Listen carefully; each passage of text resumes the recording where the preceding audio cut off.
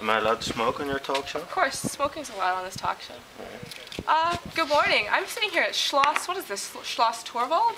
Something like that. We're sitting at some Schloss, uh, somewhere in Germany, north of Berlin, in the middle of uh, one of the least densely populated parts of Germany. I think, so, what is it, less than 200 people per, No, one per 200 square kilometers. oh, one person per 200 square kilometers. That's where we are right now, because we've just bumped that number up significantly with our uh, party force. Um, so, Chris. Yeah, I, I understand that you're into surfing. I surf. Yeah. So where do you where where do you surf? When I surf, I'm, first of all, I'm not good, but I like Okay. it a lot. And That's the beginning of getting good, liking it. for some people, I don't know, but you have to surf a lot, I think, to get good. But I started surfing in France on a road trip, and then I also surfed in the Netherlands, where I grew up. And now, basically, I go surf every summer. Wow, it's kind of news to me that you can surf in Europe, but I guess if people surf in Newfoundland, they can surf in the Netherlands, as long as there's water and waves.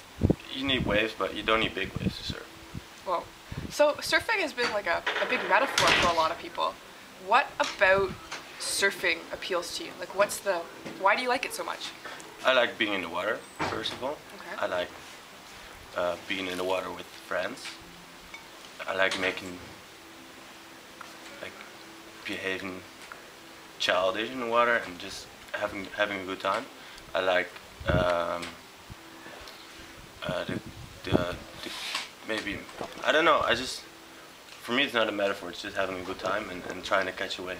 Like, I don't want to make it bigger than it is. Yeah, it's just what it is. Yeah. That's really good. Do you have any tips for like for me like I can't I can't even imagine beginning to do that. Like how do you how do you start to catch a wave? What's like a step by step like five point system to catching a wave? All right, like I said, I'm not a good surfer, so maybe I'm not the best the surf coach for you. Okay. But what you're gonna want to do is just uh, uh, uh, you should you should learn how to catch a wave. So maybe you want to start with body surfing or something like that. So you try to catch a like you get the what you want is you you want to get your timing good. So you want to like paddle on the, at the right time. So you want to make speed first, and you need a little bit of speed to catch the wave. Yeah. And then when you when you get that, you're gonna try it with a board. Okay. That's what I think. Amazing. Thank you so much. Yeah. Have a have a good time at the rest of this crazy castle. Do you know when we're leaving? Are we leaving tonight or tomorrow? I think we're leaving tomorrow morning. Okay. This was it. This this this this was the interview about surfing. Yeah, this is about surfing. All Anything right. else you want to talk about? I don't know. It's not the most interesting part. I. Really? I think No. it's so interesting. Okay. So okay, another quick question. You're really into information design.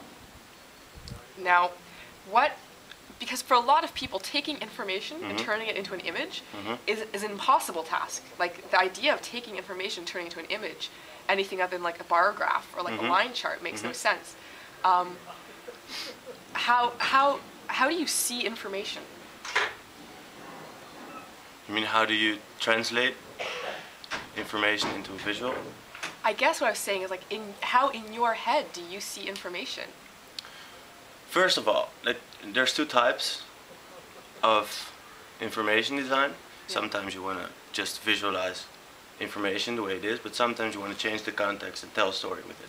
I think that's the most interesting part. That's also the most difficult. Mm. So there's been a lot of trends in information design, and some people like to call it data visualization. And I think what you want to do is you want to first you want to get the story straight. So you want to so you, you have to know what you want to tell, and that's the hardest part for me also.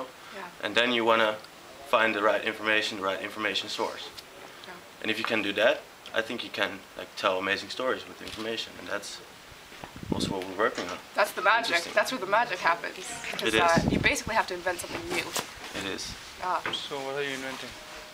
information design. Yeah. So we're gonna interview Siesh Yeah. next. Thanks for coming on the show, by the way. This yeah. was really good. Oh. Amazing. No, please, Siesh. Yeah, Suyash. Siesh, come here. You, you already walked in the frame. You've gotta be on the show. Thank you. Caius, ladies and gentlemen. Caius. Siesh, please.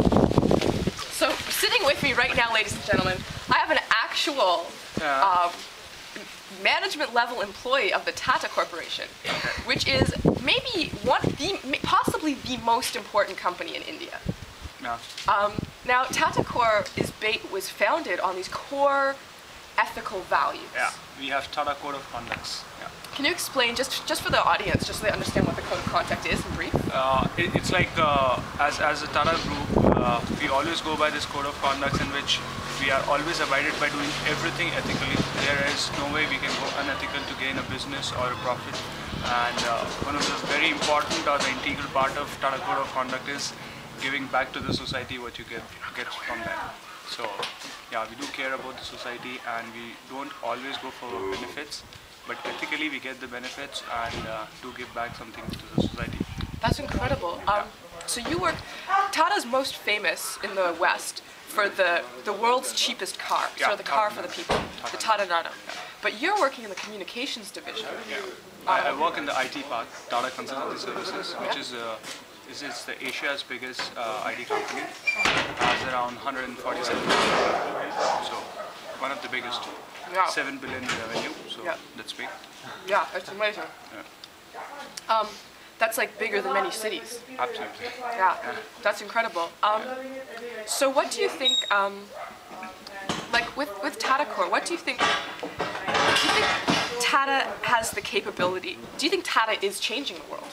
Yeah, of course. Uh, just imagine uh, something like Tata Nano coming in where that even the, the lower middle class who wouldn't have even thought about uh, getting a car for themselves, uh, but now can actually afford it. So that, that's what the basic aim of the group is that to get uh, good things across to the lowest strata of society and help them to grow up and you know be at the same level as the rest of the people. You know? For me, what I think is most interesting about Tata Yeah. is how it's an Indian business for Indian people, Absolutely. also with an eye to a global market. Yeah. So they, they always think as a, as a localized global world. They, we are spread across uh, more than 40 countries.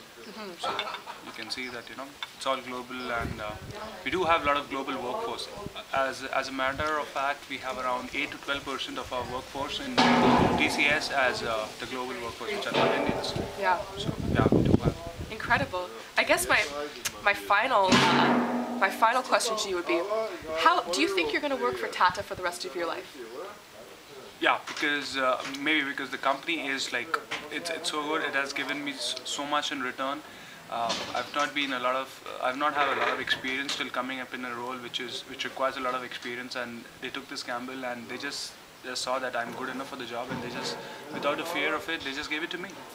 Amazing. Well, you are a talented man. I gotta say, this this is a talented man, and he knows a lot, especially about communications. Anyhow, I try to. Yeah. thank, you, so much for having breakfast with me. Thank you so much, Zeesy. Bye. Ciao. So I'm sitting here with Ernst, also known as Ernesto, who's uh, a very important mentor to us here at Palomar 5. Um, now, Ernst, is this, this is Schloss, what, what Schloss is this? Schloss Tornow. Schloss Tornow, okay. Now, are you responsible for suggesting this place? Yes. It's a good one. It's definitely a good one. Yeah, it was, uh, we were lucky that we found it because originally we wanted to make some survival training with you. Oh no, no survivor training, please. Good morning. Good morning. Um, this is Simon, by the way, also a very important Palomar 5 member. You are just uh, Just in time. in the movie show. Yeah, just in time for an interview.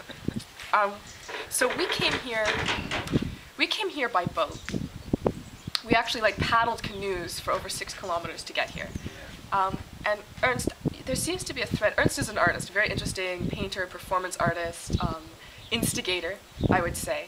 Um, and in your work, you seem to have this thread of experience as metaphor for life.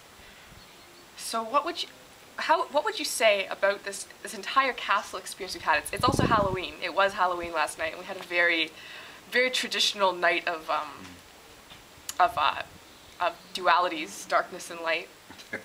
Um, More darkness. More darkness than light, but the light still has to be there for the Yeah. darkness to, to reveal itself. yes, it needs each- other.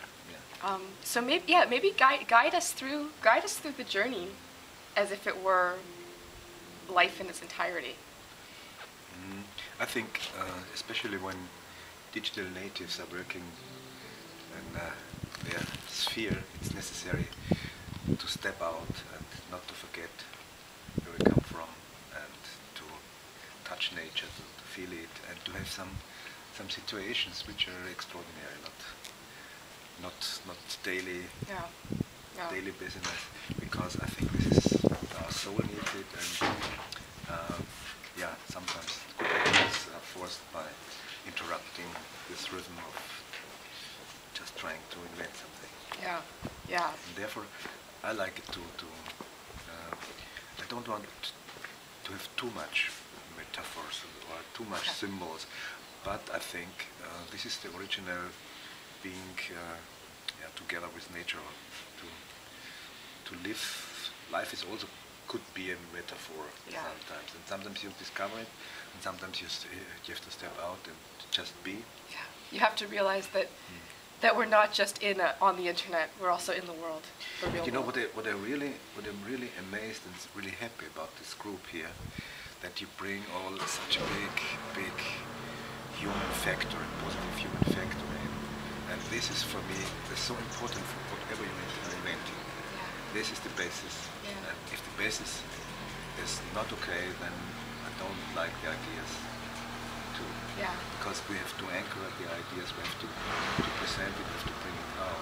Yeah. And this is, therefore we, we do this effort to, to make these situations that you feel well, get motivated from inside. It has to come from like a human core, Yeah. and not from just doing something for the sake of it being new. Yeah. Yeah. That's beautiful, and I think that's actually um, something that we constantly need to remind ourselves in everything in life. Yeah. Yeah. That you think you are all individualists, you are good as individualists, but uh, you have to have the ability very, very, very quickly to make a good society and to have a strong society as a group. Yeah. And this is this is what this is a, a value you have to create every day. Yeah. Uh, not forget it. Then, if you if you have it like like we have it here this weeks, I think uh, I'm very looking forward what ideas coming out, and uh, I think we have a audience which is very curious, and uh, they all. The first impressions when they come to this project is they see the group, they wow, what a what a Yeah. yeah, what a, what a good atmosphere is here. Then I think that was the, the ideas can fly. The first job is to your community and your peers, Yeah. always. Thank you so much, Ernst.